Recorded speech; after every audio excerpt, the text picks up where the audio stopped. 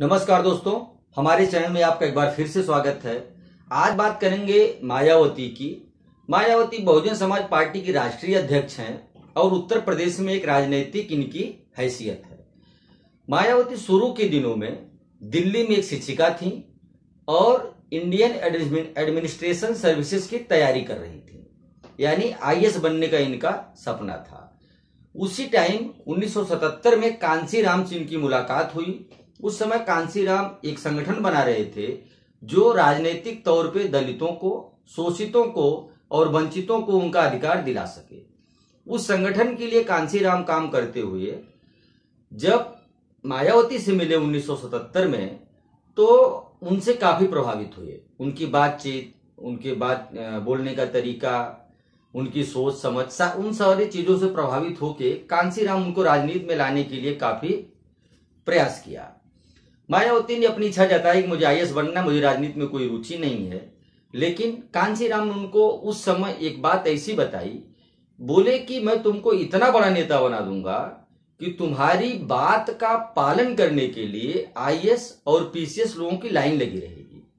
इन सारी चीज़ों से प्रभावित होकर के मायावती राजनीति की तरफ़ रुख किया और उन्नीस सौ चौरासी में बहुजन समाज पार्टी के गठन होने के बाद मायावती बहुजन समाज पार्टी की सक्रिय मेंबर के रूप में काम करना चालू किया।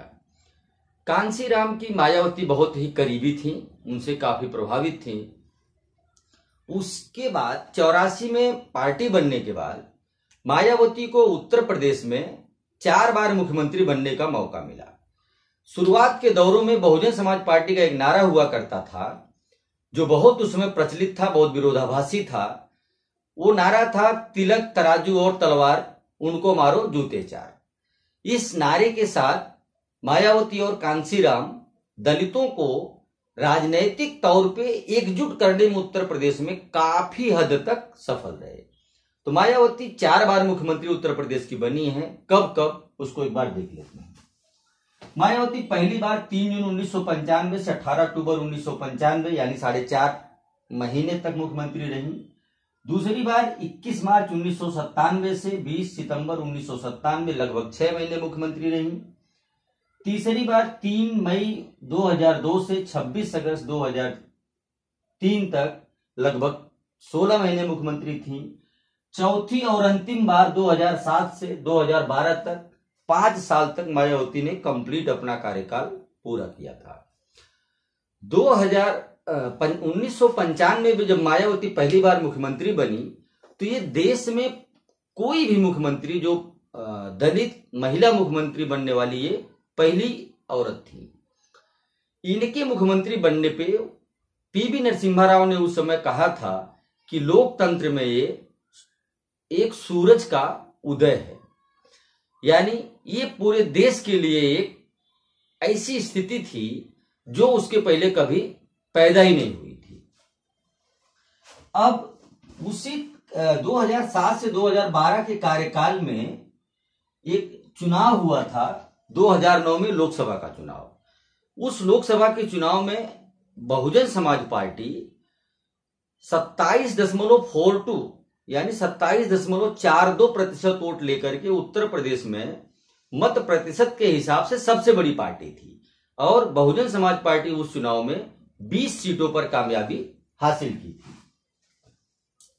उस चुनाव में मायावती का या बहुजन समाज पार्टी का मुख्य नारा था कि हाथी नहीं गणेश है, ब्रह्मा विष्णु महेश है।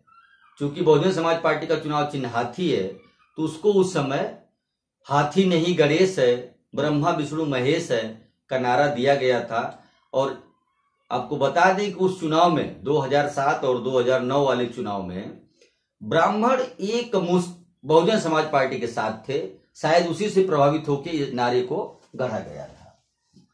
मायावती के कुछ उल्लेखनीय कार्य हैं अपने मुख्यमंत्री के काल कार्य, काल में। उसको देखते हैं। मुख्यमंत्री का ग्रेटर नोएडा एक्सप्रेसवे का निर्माण कराया बहुत बड़ा काम था। Yamuna expressway, Ganga expressway Taj corridor जिसको ताज गलियारा के नाम से भी जानते हैं, काफ़ी विवादित भी रहा। इसको लेकर के मायावती के ऊपर बहुत सारे आरोप भी लगे, घोटाले के। बहुजन स्मारक का निर्माण। बहुजन स्मारक के निर्माण में मायावती ने जो दलितों के महापुरुष थे, उनको नामों, उनके नाम पे बहुत सारे गार्डन, बहुत बारे, बहुत सारे, उनके मूर्ति का निर्माण मायावती जी ने कराया। इसका भी विरोध राजनीतिक तौर पे बहुत सारे लोग करते रहे। अंबेडकर गाँव का चयन उस समय जिस गाँव को अंबेडकर गाँव मान लिया जाता था, उस गाँव की नसीबें खुल जाती थी। कैसे? उस गाँव में स्कूल, हॉस्पिटल, रोड, यानी सारी व्यवस्था मूलभूत जो होती थी, जो उस गाँव को कभी सपने में नहीं मिलने वाली हुआ करती थी या कम मिलती थी, कोई जानता नहीं था, वो महीने पंद्रह दिन के अंदर में सारी व्यवस्था हो जाती थी। बिजली, पानी, स्कूल, हॉस्पिटल, सारी व्यवस्था तत्काल वहाँ पे मुहैया करा दी जाती थी। मायावती के कुछ विवादित निर्णय भी रहे हैं। जैसा हर राजनीतिक पुरुष के साथ होता है, कुछ अच्छा होता है, कुछ खराब होता है। विपक्ष का तो काम ही अच्छा करो तो भी खराब खराब करो तो तो खराब है ये तो मायावती जी के कुछ विवादित निर्णय रहे हैं, उसको एक बार देखते हैं। मायावती जी ने प्राइवेट नौकरियों में आरक्षण का प्राविधान लाने का एक प्रस्ताव रखा था और प्रमोशन में भी आरक्षण की मांग की थी।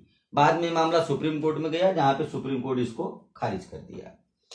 उसके बाद उत्तर प्रदेश को चार राज्यों में बांटने के लिए मायावती ने 2007 में 2008 में और 2009 में तत्कालीन प्रधानमंत्री मनमोहन सिंह जी को पत्र लिखा था।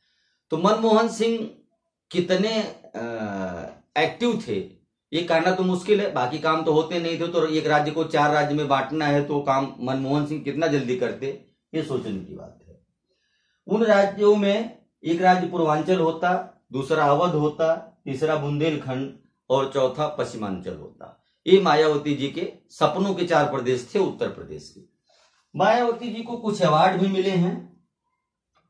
उसमें इनको पोलियो उन्मूलन में योगदान के लिए डब्ल्यूएचओ और कुछ और संगठनों ने मिलकर पॉल हैरिस फेलो अवार्ड दिया था।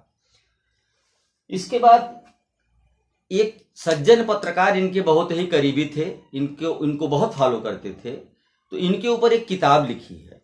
अगर आपको मायावती को बहुत विस्तार से जानना है, बहुत अच्छे से समझना है तो आप इस किताब को ज़रूर पढ़िए। इस किताब का नाम है आयरन लेडी कुमारी मायावती। तो इस वीडियो में इतना ही। धन्यवाद दोस्तों। अगर ये वीडियो अच्छी लगी तो इसको लाइक करें शेयर करें सब्सक्राइब करें। और मिलते हैं फिर अगले वीडियो में।